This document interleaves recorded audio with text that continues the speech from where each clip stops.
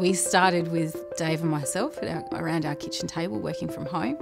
We were going to build a house. We mortgaged the, the land that we had to be able to start the business. And I still remember there were some really, really tough times, you know, living off of our credit card.